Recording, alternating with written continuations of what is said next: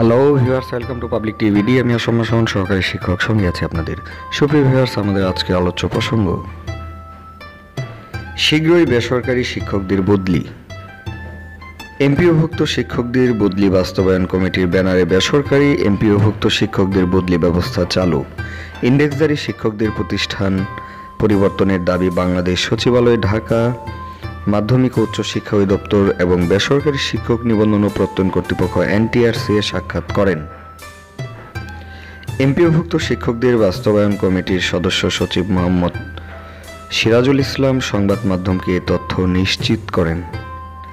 তিনি বলেন, বদলির দাবিতে মাধ্যমিক ও উচ্চ শিক্ষা অধিদপ্তরের মহাপরিচালক অধ্যাপক ডক্টর সৈয়দ গোলাম ফারুক, এনটিআরসি ভারপ্রাপ্ত চেয়ারম্যান অতিরিক্ত সচিব জনাব এম এ আওয়াল এবং এনটিআরসি সচিব জনাব তাহসিনুর রহমান এর সাথে বদলি বাস্তবায়ন কমিটির ছয় সদস্য বিশিষ্ট একটি প্রতিনিধি দল সাক্ষাৎ করে বদলি ব্যবস্থা চালুর প্রয়োজনীয়তা উত্থাপন করেন।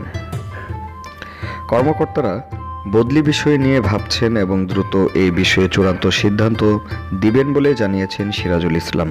তিনি আরও বলেন বদলি বিষয়ে ওনাদের সাথে সন্তোষজনক আলোচনা হয়। সচিবালয়ে মাননীয় শিক্ষা সচিব, শিক্ষামন্ত্রী, উপমন্ত্রী এবং নীতিমালা সংশোধন কমিটির আহ্বায়ক অতিরিক্ত সচিব আজ সচিবালয়ে উপস্থিত না থাকায় তাদের সাথে সাক্ষাৎ করা সম্ভব হয়নি। তবে যথাযথ কর্তৃপক্ষের মাধ্যমে বদলি ব্যবস্থা চালুর অনুরোধপত্র জমা দেওয়া হয়েছে বলেও নিশ্চিত করেন।